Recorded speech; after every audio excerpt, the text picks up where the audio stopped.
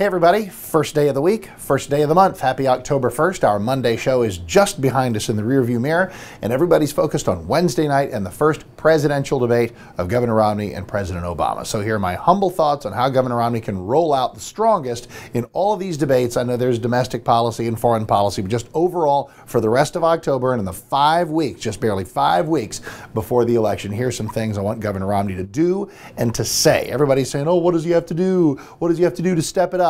Here's the answer. Listen, focus, write it down, and go. Jobs, jobs, jobs, absolutely, but phrase it in the following way Say to the American people, I know this economy is hurting you, it's killing you, and it hurts me to see what effect this economic downturn has had on you, and I've been particularly pained to see this presidency not fix it, as President Obama said it would.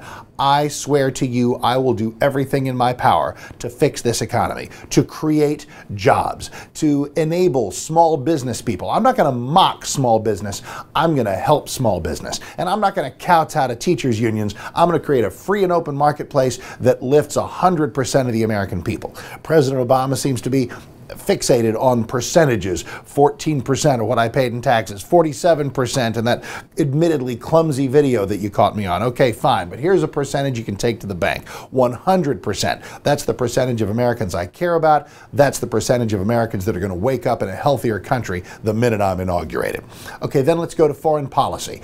I will enact a strong, muscular foreign policy where Al Qaeda knows that the free ride is over. They know the weak presidency is over over. They know that the grown-ups are back in charge. They're going to know from Iran and its nuclear ambitions to Al Qaeda, which is obviously on the rise. Hello, we're going to shoot straight with the American people so that they know the Middle East is still a mess, and we're going to shoot straight in the Middle East to make sure that they know that there's an America that's trying to make it not be a mess with freedom and democracy and the opportunity for self-determination. Uh, number three, let's come back home. Again, Mitt Romney channeling this. Just go with me, Governor. Please, somebody send the copy of this.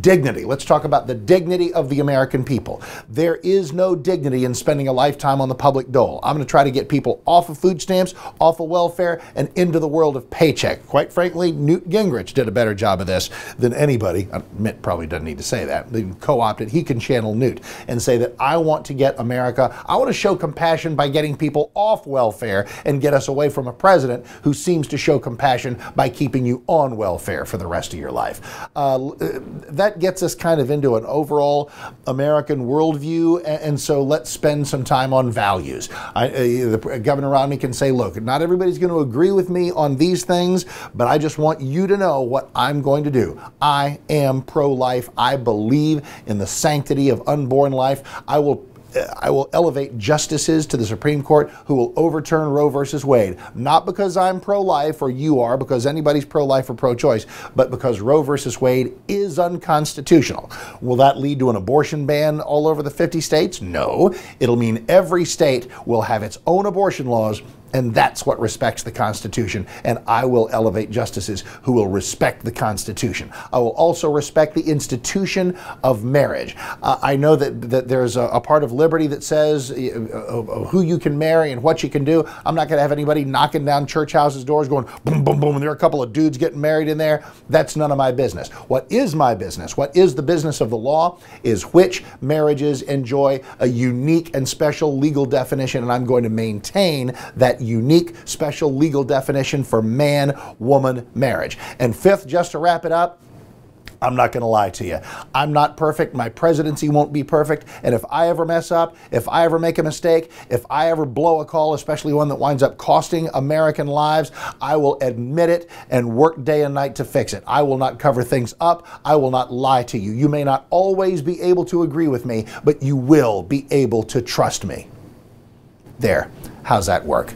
I don't know how you work all that into a, onto a debate stage, but if I'm Governor Romney, those are the kind of things I say. And I have a feeling if he says some of those things, uh, and I don't know what to think about these stupid polls these days. Maybe they're fixed, maybe they're not. I don't care. He needs to run as if they're real. Run as if you're five points down. How about that? Because it is that urgent and this election is that important. So here comes debate night. We'll be talking about it, of course, extensively. I have a feeling the next one of these will be post debate number one, and we'll see what we all thought about that. So, debate night is Wednesday night, October 3rd. In the meantime, be sure to catch every morning's Mark Davis show, 7 to 10 Central Time, right here on 660 AM The Answer, and check back here early and often for more stuff like this at 660amtheanswer.com.